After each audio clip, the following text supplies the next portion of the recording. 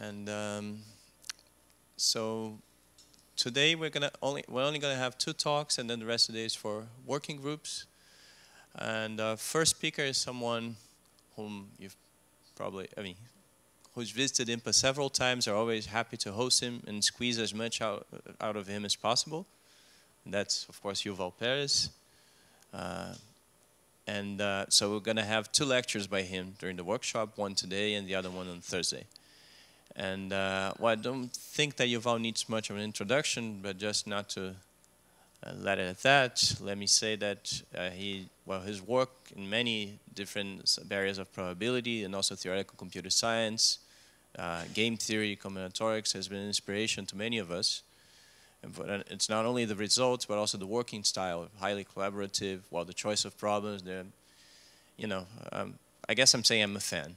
So uh, without much further ado, let me let us have Yuval talking about gravitational allocation of points on the sphere.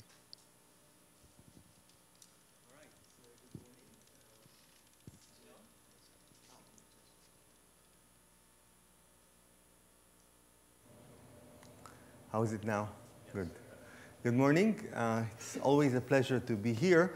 Uh, today I'll talk about gravitational allocation mainly as a method for bipartite matching that we can, uh, that we can analyze. But um, uh, before getting to the talk itself, I want to just show you a few examples of um, competing matching methods. So here we have blue and red points. Uh, in this talk, I'll always have the blue and red points on a two-dimensional manifold of area n. It will either be a torus or a sphere. You could do other manifolds. It will be uh, about the same. But the fact that it's two-dimensional is important. The nature really changes. The nature of the problem changes in higher dimensions. In fact, it's easier in higher dimensions. So two dimensions turns out to be the most interesting case. So, so here you see the, uh, actually the optimal matching of these blue and red points, optimal in the sense of the minimal uh, length.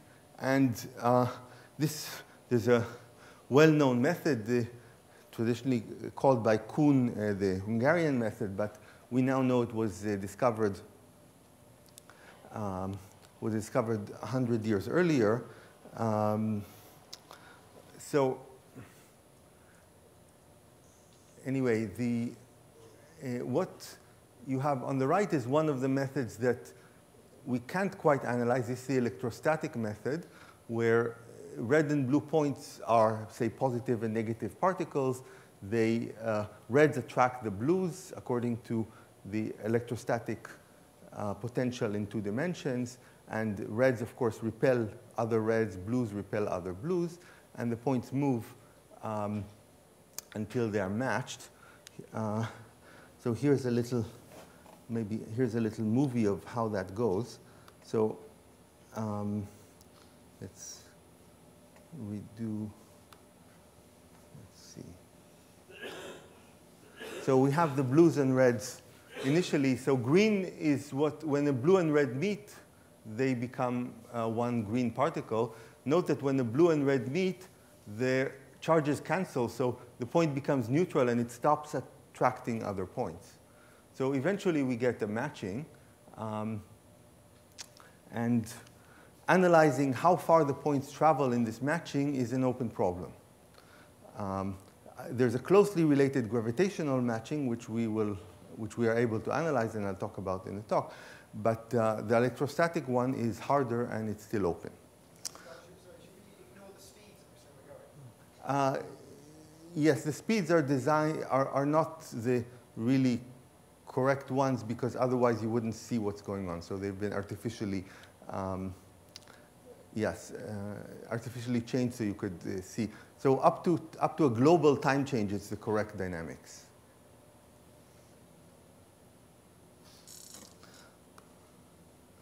Okay, so we go back to the talk. Okay, so this is uh, joint work with two really fantastic interns, uh, Nina Holden from MIT and Alex Zhai from Stanford. This is a good opportunity to remind those of you who are students and those of you who advise students that we have a uh, internship and student visitor program at Microsoft, and these are uh, two of the real stars that were in that program. Um, so,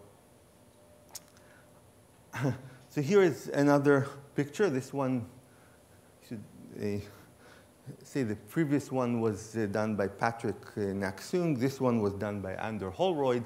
It compares, uh, we have uh, more points here, about 300 blues and 300 um, reds. And um, here is the optimal matching, uh, optimal in sense of uh, minimal average length. On the left is the greedy matching, which is also known as the stable matching. So greedy, I remind you, just take the blues and blue and red that are closest, match them up, um, then take the next pair, match them up, and so on.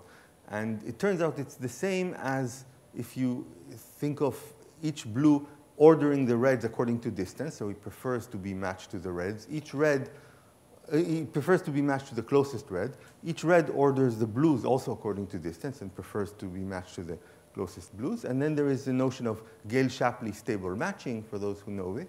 And in this case, it coincides with the greedy matching. So that's why it's called stable. So analyzing the average length here is another open problem that I want to emphasize, and I'll come back to it during the talk. So the optimal matching is, uh, one can obtain it by an algorithm. This is known as the Hungarian method, which is uh, order n cubed operations. Um, we'd like to understand the performance of somehow faster methods. And, um, and we'll see one today.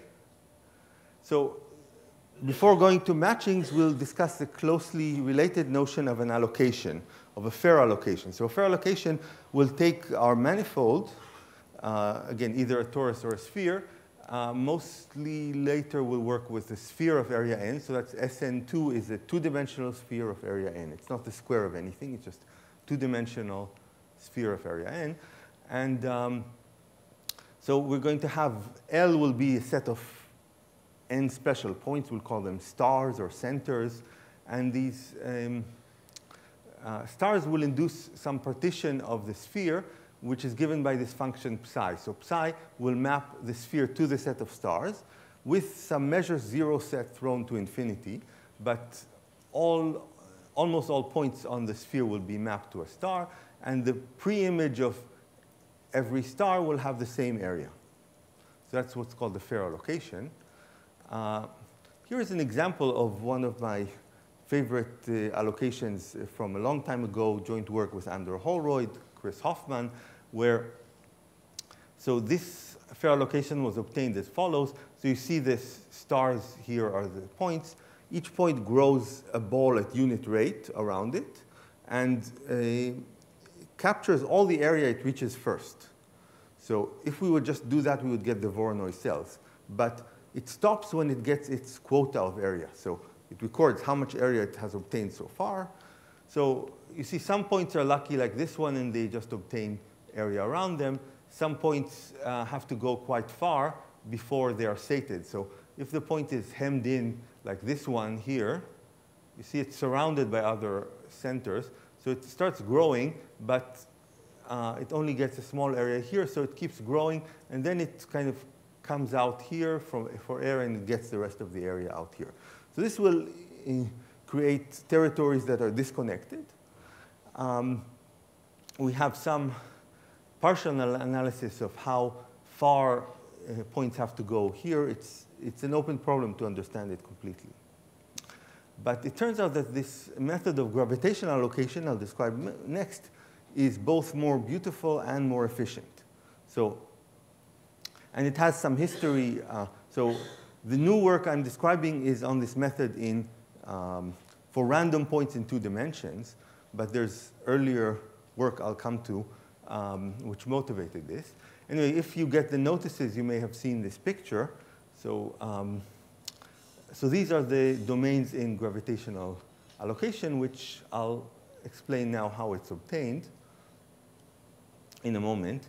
So actually what we'll want is not just an allocation for a specific set of points, but an allocation rule, right, that maps every collection of points to an allocation.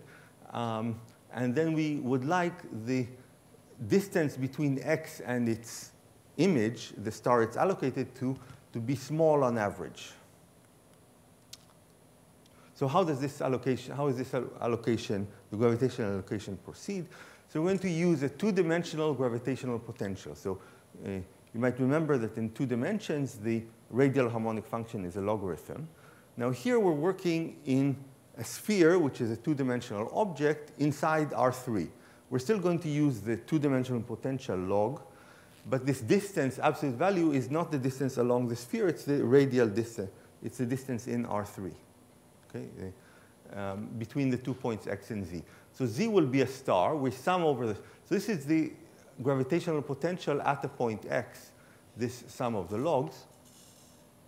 And then we're going to look at kind of a force which is minus the spherical gradient of this potential. So, so if you look at the potential at the point x and take its gradient vector, this will generally point inside the ball somewhere. But we want a movement on the sphere, so we take the gradient and project it to the tangent plane of the sphere. So that's what's called the spherical gradient of the potential. Okay?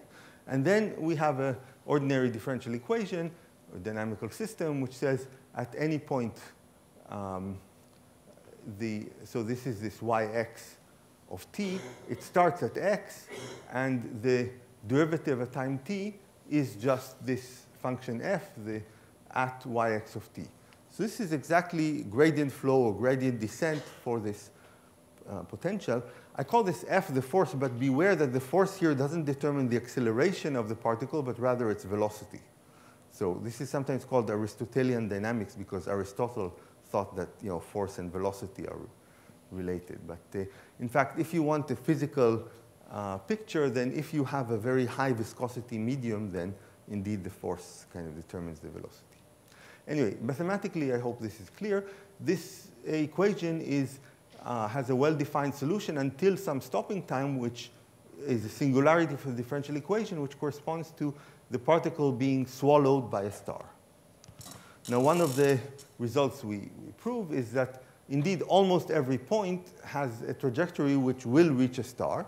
So there's still some measure zero of points on these boundaries. In fact, these boundaries are piecewise smooth. And uh, on the boundaries, what happens to the particles? They might move a you know, inside the boundary, but their movement, they can't move to inside either domain.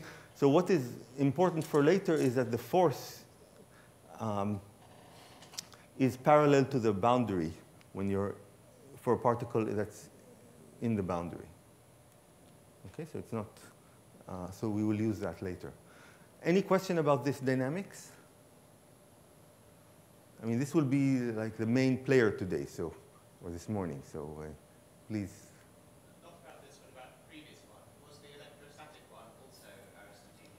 Yes. If you do Newtonian dynamics, then you would have particles starting to circle around stars and all kinds of stuff, which is we don't want here. So, uh, okay, so every star has a basin of attraction, the points that converge to it. And, and here is the first fact, which is, I think, shocking the first time you see it, is that the areas of all the basins are the same. So unlike the case of the uh, stable allocation I told you later, we don't put any rule that says that forces the area to be one. Somehow, just this definition and uh, the divergence theorem, as we'll see, imply that the uh, areas are the same. And this is not just for random points. This is for any n stars that you put on the sphere, and the analogous thing holds for any manifold, the areas will be exactly the same. And that's you know, formally new in this setting, but it's not really a new result because this kind of result has been obtained in other settings before. Uh, but still, um, I'll tell you uh, something about it. Here is a little picture of a little piece of the potential how it looks like. So think of this as a little uh, region on the sphere, and over it we have this potential defined. So it has these uh, singularities um, at the stars. And you can think of the dynamics, if you want, as by put, if you have a point, put a pebble at that point and see where, which singularity it will, which of these holes it will roll into. That's the same. So uh, just a quick little story. So I was uh, giving a version of this talk in, the, in Montreal in the Math Congress of the Americas, and the uh, organizer was very careful because he had only five plenary talks. He wanted to make sure that the abstracts make sense. So when I sent him the abstract, he said, well, wait a minute, I don't believe your statement. You have to explain it to me before I can publish the abstract. So I, I first sent him, you know, I sent him this proof, but you know, he, he really wanted to understand some examples. And so now you get to see them too. So he asked, what if, uh, you know, I have one star in the North Pole and it's surrounded by other, uh, you know, it's hemmed in, surrounded by other stars. How can it get its fair share? And uh, somehow the answer is that it gets actually points from quite far away that uh, somehow travel between these stars where the force is balanced and it gets equal area.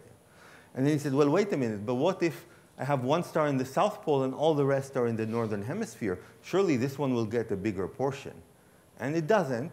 So even points here that are closer to the South Pole than to the North Hemisphere will get attracted north because these points on the north gang up and pull uh, points up. But this is, uh, you know, won't work for just any old potential. It really is a property of the proper two-dimensional potential in, uh, on this uh, sphere. So this is the, you know, one uh, proof by formulas I want to show you. So hang on, it's just, you know, advanced calculus and just the divergence theorem. So we want to understand why the basins have equal area. So, uh, so take, take one of the basins, the basin of Z0, and uh, write the divergence theorem for the potential U. So the diver actually for the um, sorry for the gradient of the potential, which is minus the force. So remember, the force was minus the spherical gradient of the potential.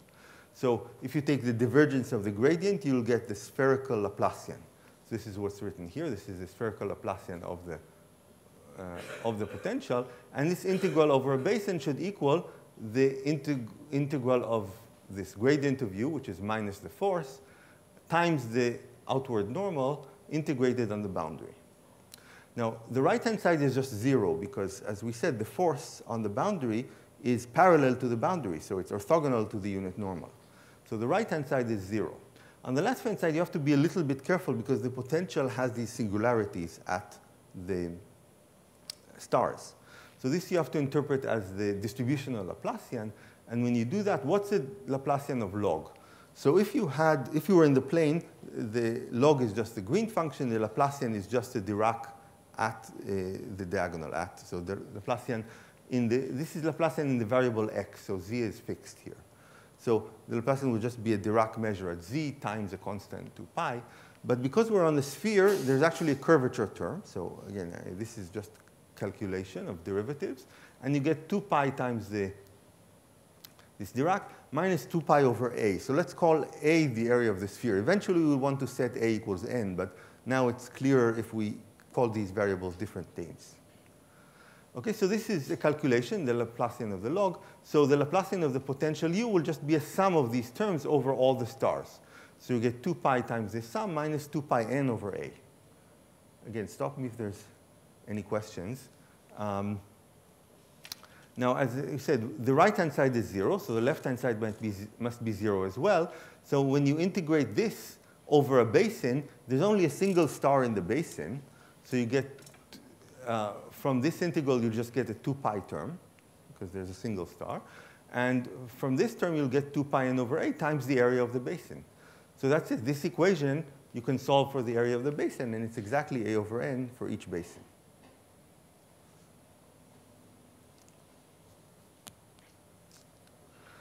So uh, again, I'll, I'll, say something about the history later, but here is kind of the real uh, theorem we prove, is that the expected distance traveled from any point x is, until the star it uh, flows into, is uh, order root log n. So where is the randomness here? You can take any point x on the sphere, then throw down the n stars at random. So the previous discussion of equal areas didn't depend on the distribution of the stars. They could be anywhere. But now we're going to really put the stars uniformly at random. And then with that uh, assumption, the expected distance traveled is bounded, it turns out, above and below by uh, root log n, constant root log n. Um, so this is similar to the root log n that we saw yesterday? Yes, and it's not an accident. Um, so this, in fact, there's a close relation between allocations and matchings, and um, in particular, that relation implies that you cannot get any fair allocation which is better than root log n in two dimensions. So I'll explain this later, but here is just some pictures of how these uh, allocations look. So this is for n equals 15. You see the basins are still kind of uh, roundish. As n grows, the basins get a little more elongated.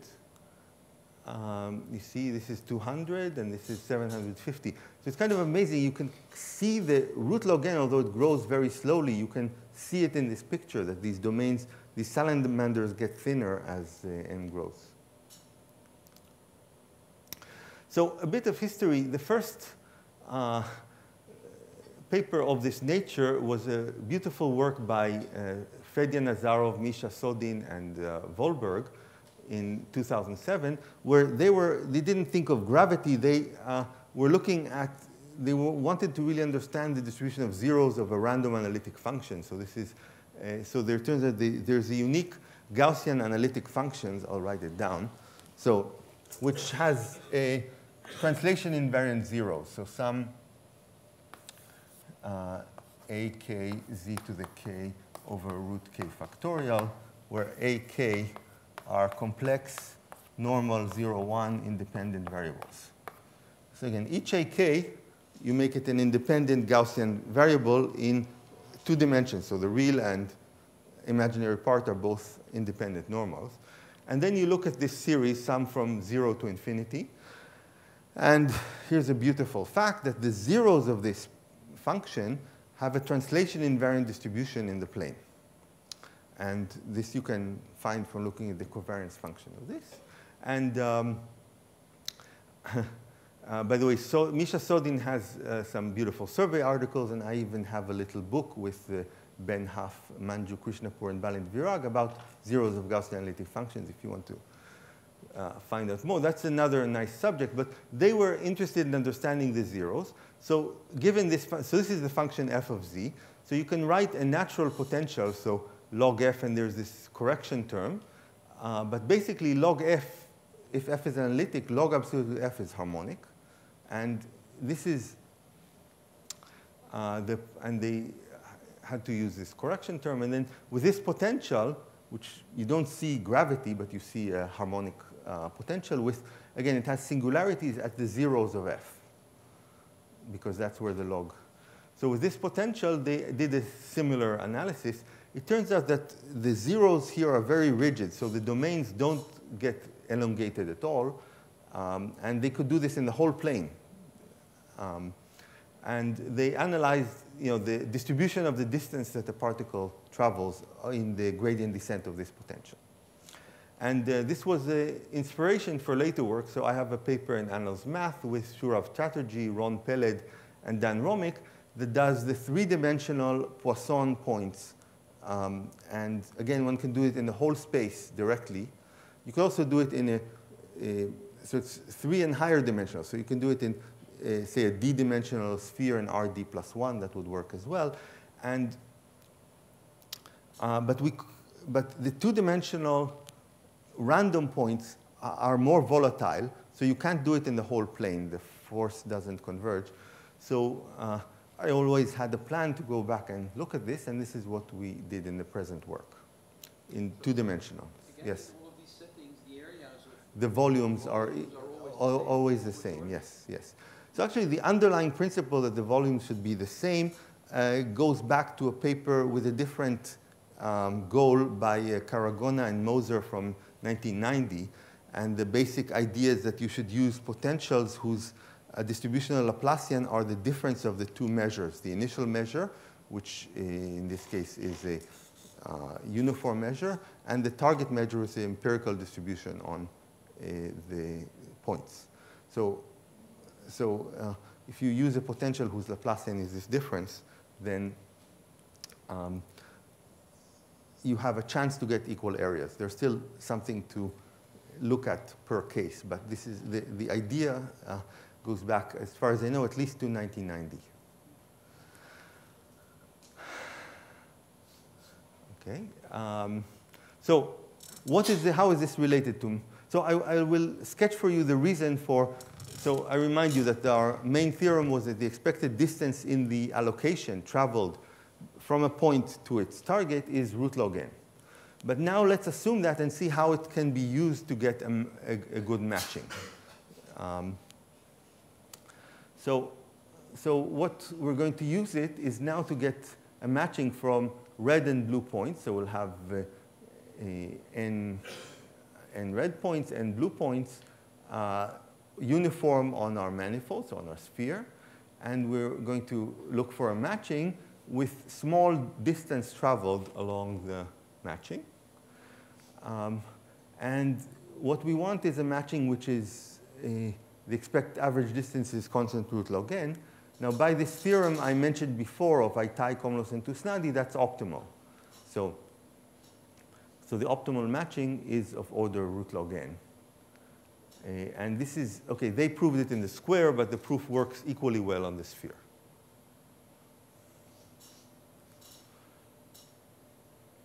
OK, so that's a statement. So let me explain how we get from the allocation to the matching. So we're going to do actually an online matching. So we're going to put the blue points down. They will be the stars. The red points will arrive one by one. They will be partic moving particles. The blue points are never going to move. Okay? So we throw down the n blue points, um, but they'll be matched. Okay, so the, these blue points define a gravitational potential. They are the stars. Now a red point arrives. Think of it as a particle. Oops. A red point arrives, and it feels the force from all the stars. And with probability, again, the red point arrives at a random uniform point. So it won't land on the boundaries. It's probability one. It will land inside some basin, and that means it will uh, travel to one of the stars. So that's our definition of the matching. Okay? We remove both, we remove both of these, the red and the blue, and repeat. Now, okay, so we repeat, we're going to take a second one and so on. Now, why will we be able to analyze this? Maybe a more natural scheme, which doesn't work as well, is throw down the first red point and match it to the closest blue point, right? Kind of online greedy. The problem is when you do that, then you are biasing your collection of remaining blue points because the blue point with a large Voronoi cell is most likely to be matched in the first round. And now after you do that, the collection of blue points gets biased in a bad way. And if you keep going, it's more and more biased and uh, it doesn't behave well and very hard to analyze. Here it's completely uniform. So after, so uh, the first blue points to get matched So, so I uh, expect it to be worse for asymptotically for large n. Uh, but we can't prove anything about either the greedy. Any, okay, we can prove something about the greedy. The online greedy, no one has proved anything about its behavior. So that's another challenge. Uh, so again, online greedy, you put a blue point, it gets, I mean, you put a red point, it gets matched to the closest blue, repeat. Very natural scheme. Analyze the average distance. Uh, hasn't been done. Here we do something which sounds similar, and it sounds harder, right? We put the red point, we apply this gravity, we see where it's matched. But we, this one is analyzable, and it turns out to be optimal up to constant. And uh, again, so the red point gets matched to the blue point. Now, because of the equal area theorem, we know that each blue point has equal chance to be removed in the first round. So we start with n uniform points. We remove one uniformly, then we have n minus 1 independent uniform points. That's a little you know, easy exercise. So then we can repeat. So these are n minus 1 points, but they're on a sphere of area n rather than n minus 1. So the root log n result is for n points on a sphere of area n. If we have a sphere of different area, we have to scale by the ratio of the radii, which is square root of, in this case, square root of n over n minus 1 won't matter, but, and we repeat, this will matter. So we just keep going, putting in points one by one, and what we'll get is, when we are left with k points, we'll get root log k. I just put the 1 here to take care of the uh, case where k equals 1, but we'll basically get the root log k, and it's multiplied by a scaling factor root n over k because we have k points on a sphere of area n. The root log k is for a sphere of area k, so you have to scale um, since we're looking at distances, you have to scale by the radius, which is, uh, you know, square root of n over k. So you just get this uh, series, which is easy to bound. So for instance, if you just bound the log k by log n, uh, and then you take it out, then you get a really elementary series, and you'll see that this is order uh, root log n. And this is, you know, up to constants, the right answer. But this means uh, two things. One is this means this matching is optimal up to constant because of the AKS theorem. And second, it means that you cannot get an allocation scheme which is really uh, better than root log n because if you would, you would get. So note that although we talked about gravity, all we used is the fact that we have uh, these uh, fair allocation schemes. So if we had any other abstract fair allocation scheme, which had better behavior than root log n, you could apply that scheme to get a matching. Right, so I, I, said I put a point and see where gravity, but I could say, given a fair allocation, I just put a, to the blue point, I just put a red point, see which basin it's in, remove those and repeat. So if you had any fair allocation that gave better behavior than root log n, you would get a matching better than root log n, contradicting the AKS theorem. So uh, root log n is optimal. Again, up to constant. Now, this matching algorithm has a feature which is both good and bad. So it's online, meaning, or semi-online. So the blue points are there to begin with, but the red points arrive one by one. So when I decide where to match the kth red point, I don't need to know where the future red points will arrive. So um, one drawback of this is that this is very badly behaved if I'm interested in maximal distance traveled. Because when I have only one blue point left, then the last red point arrives at a uniform point, and they, it will travel a large distance of root n, basically the, the diameter of our uh, manifold, uh, before it gets matched. But these last few long trips don't matter that much in the average most of the trips will be you know, of the right order. So, so for the average, this is fine. For the, you know, this is, so the online necessarily costs you in terms of the longest edge, longest travel. Yes?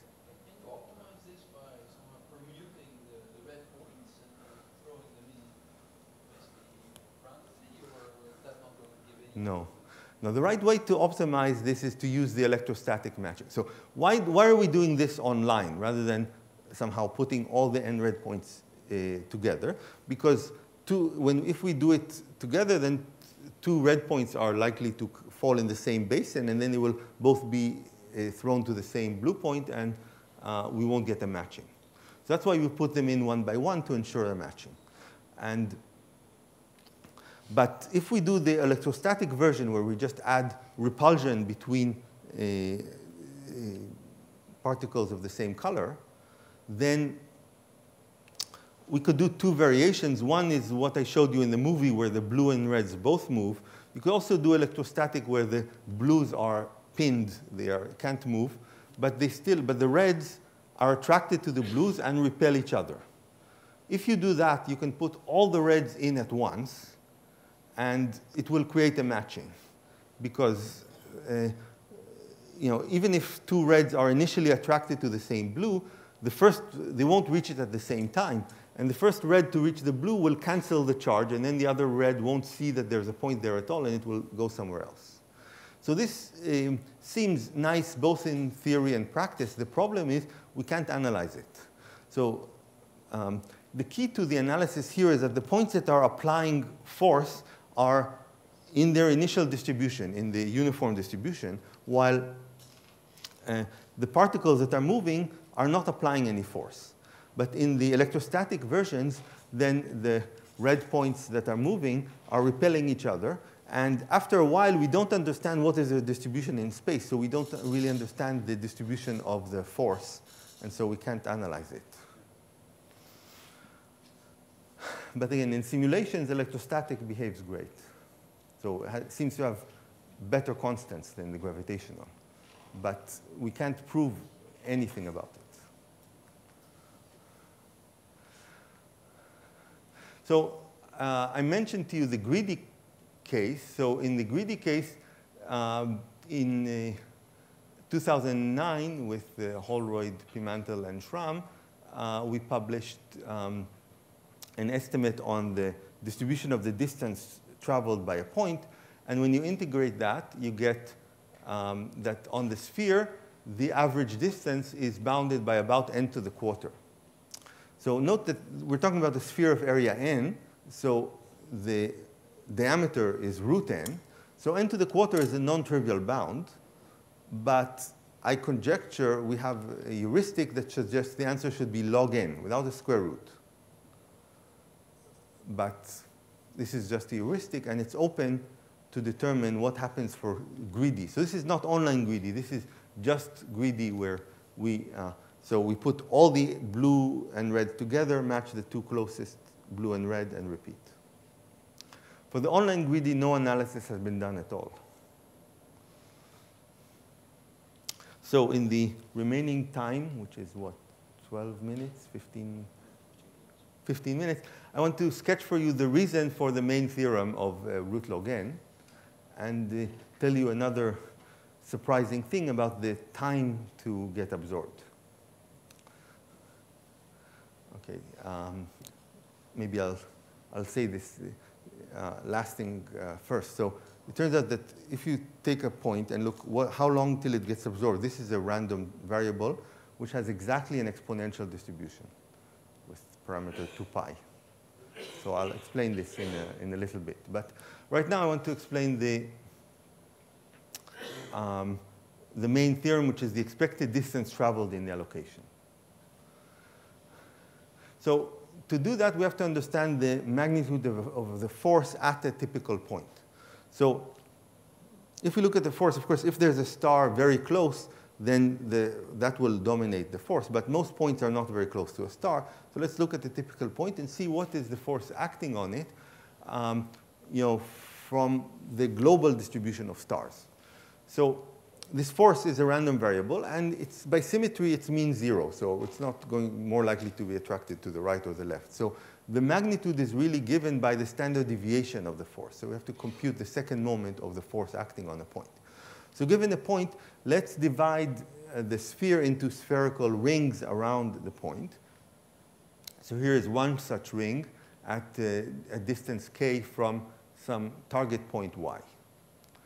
Uh, now, we want to understand the distribution of the force from this ring, actually the variance of the force from this ring acting on the point y.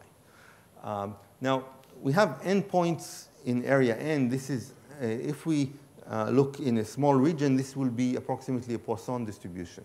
So if I uh, look at the small region of area 1, so here I take this ring and I divide it into small regions of area 1 each. So in each of these regions, the number of points that fall, I'm throwing n points in area n, so this is binomial n 1 over n, it's approximately Poisson 1. And so we have a Poisson 1 of points falling in here, and they're applying a force on y, and remember the force is, this is two-dimensional gravity, so the force is 1 over distance. So, the, you know, the derivative of log. So, but the so that's the magnitude of the force, but we're interested here in the second moment. So we're going to compute the second moment. And Uh, the second moment is going to be order 1 over k squared because you know, this is a variable of uh, you know, typical order 1 over k, but the number of these 1 over k factors we have is Poisson 1. So when you compute the variance, you'll go and get 1 over k squared. This is the contribution from each of these regions.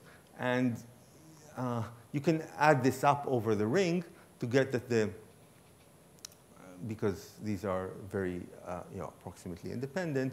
And so you get that the variance in the whole ring is going to be 1 over k, because in each such region you get 1 over k squared, and this is a ring of area k. So you're going to get uh, the total variance from the ring is 1 over k. And now when you sum over k, uh, you're going to get log n. To be a little bit careful. You don't want to sum all the way because you know, th uh, later things, uh, uh, you know, the curvature of the sphere starts to play. But, but log n is a very benign function. So if you just sum, say, until distance root n, where you're still in the flat part of the sphere, you're still already going to get a log n. So the variance of the force is a log n. And And from this, it's, there's some more calculation to do to, say, to look at fourth moment as well to see that the typical magnitude of the force is indeed root log n. So you have a variable whose, um, it's actually approximately Gaussian. So there is a, uh, actually a central limit theorem here. So the force acting on a point is approximately Gaussian with standard deviation root log n. So let's look at the point x and see what's going to happen to it when it travels uh, with this velocity. So it will start moving. Remember, the force is typically root log n. Occasionally, a star will move it a little bit, and eventually, it will get swallowed by a star. Now, when will it get swallowed by a star? So remember, the, the particle is moving with this global force of root log n. The root log n comes from the faraway stars. And when will a nearby star be attractive enough to deflect it? Only when the force from that local star overcomes the global force. Now, the global force is root log n. The local force is 1 over distance to the star. So that's why we do this strip. For a star to be decisive to, uh, to swallow the point, it has to be within distance 1 over root log n from the path that the particle is following.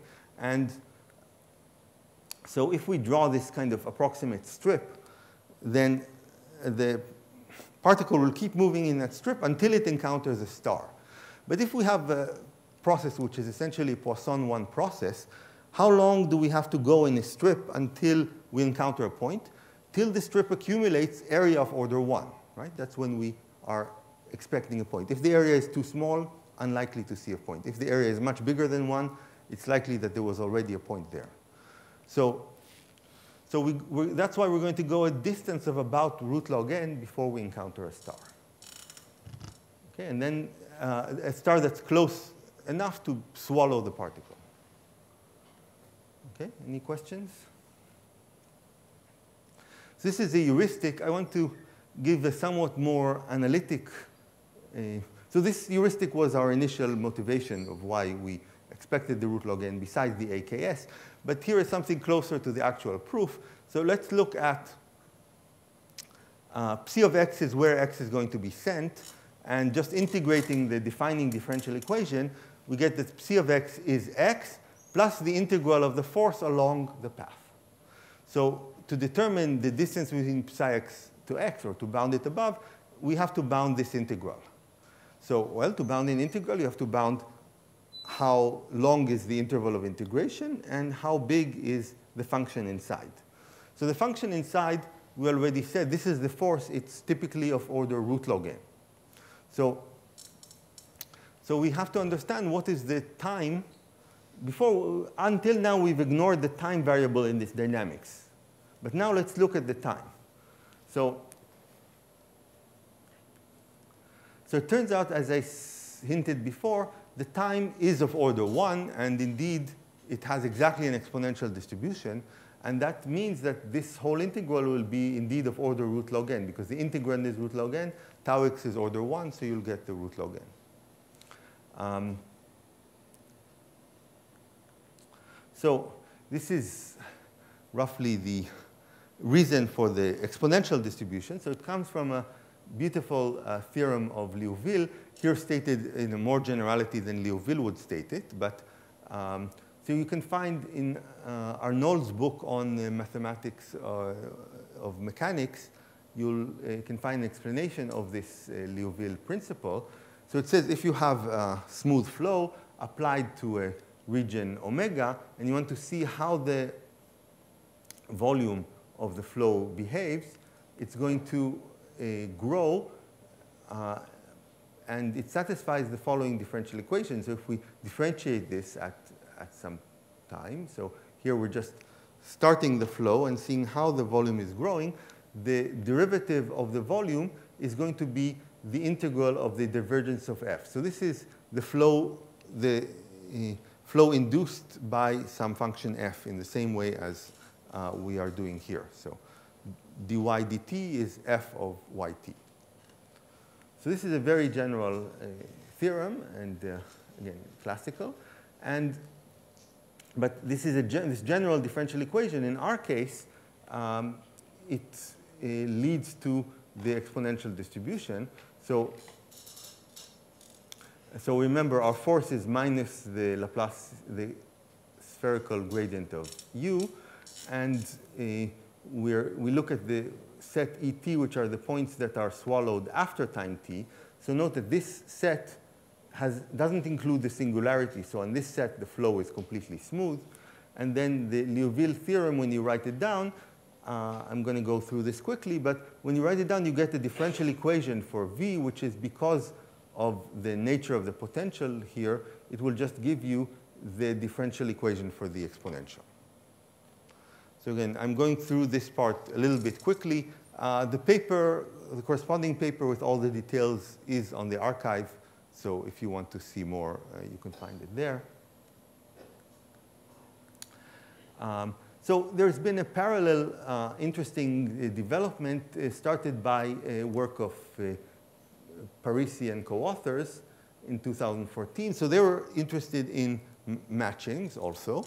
And but they were looking at the W2 distance as opposed to W1. So instead of average distance traveled, they look at average of the square distance traveled. Now, um, both Ajtai Komlós Tusnády analysis and our analysis shows that the average square distance is going to be log n, order log n, both for the optimal matching and for the uh, gravitational matching. So I showed you the root log n, but this, in fact, we can analyze any moment. So the kth moment of the, of the distance traveled, we're going to behave like root log n to the k. So, but they were interested in a sharper thing, in the constants in front. And let's focus on the two-dimensional case, which is what we're discussing here. So the average distance squared in the optimal matching, they conjectured with some physical heuristics that it's going to be 1 over 2 pi times log n. Now what's most relevant is their heuristics were based on linearizing the Monge-Ampere equation, and when they did that, they basically got the same equation that we were analyzing here. So uh, again, this was a non-rigorous physics paper, but, uh, but very fascinating connection. So one, what? No, D, D, uh, yeah. So um, by now, both one and two are, are, are proved, yes. Yes. Um, yes.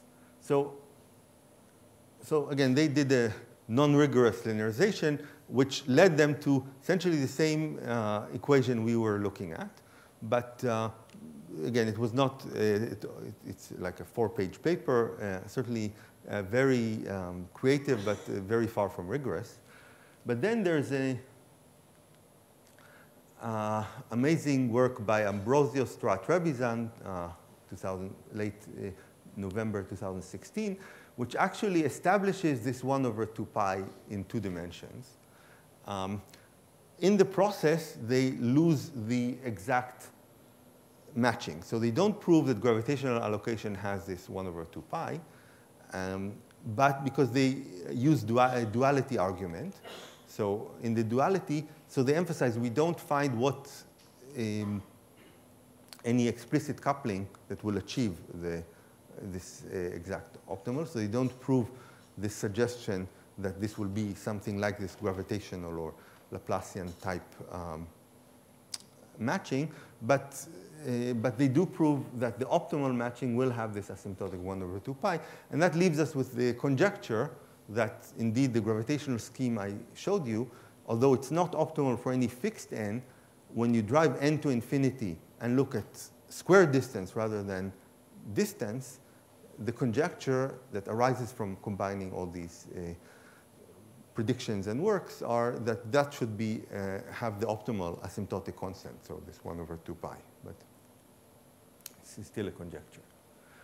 Um, here are some uh, pictures of how this looks in the hyperbolic, how the um, gravitational location looks in the hyperbolic plane. This is from uh, work in preparation by Jian Ding and Ron Peled.